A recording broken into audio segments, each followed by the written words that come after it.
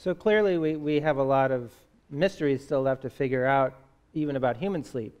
Um, we uh, actually talked to one of the uh, real uh, pioneers of modern sleep research, uh, Robert Stickgold of Harvard Medical School, and posed a few questions to him about sleep.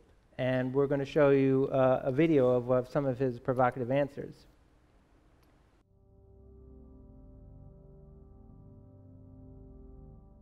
There seem to be limits um, to the resolution of our dreams. So if I ask you to picture um, a little German shepherd next to a great big elephant, it turns out that if I want to ask you to describe the dog's ears, you have to zoom in on your mind because you don't have the resolution to see it. So it might be that you just don't have enough resolution on your imaginal screen, on your mental image, to see small letters. You can read large letters going by, but try to close your eyes and picture the phrase, I'm doing fine, how are you?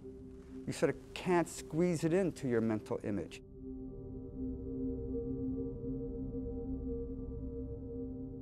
Everybody seems to think that their dreams have great meaning, and that's what makes us so much want to share them.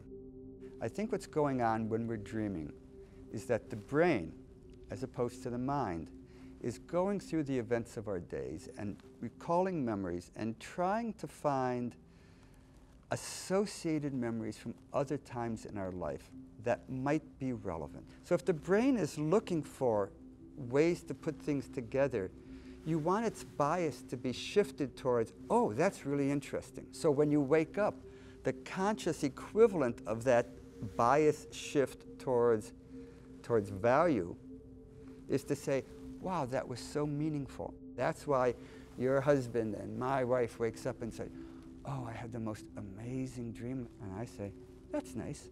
But what was the great insight? But to them, and to me when I wake up, they seem incredibly meaningful.